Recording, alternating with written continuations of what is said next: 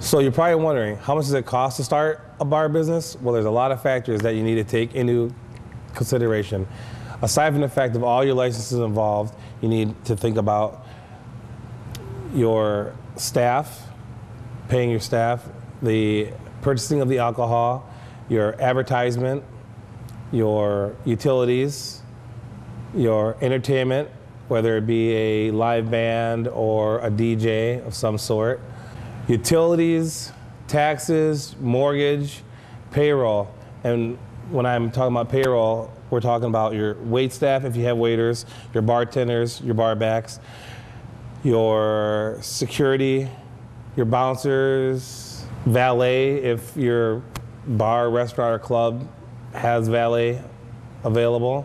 So these are just a few things that you need to seriously consider if you're thinking about going into the bar, restaurant, or nightclub business.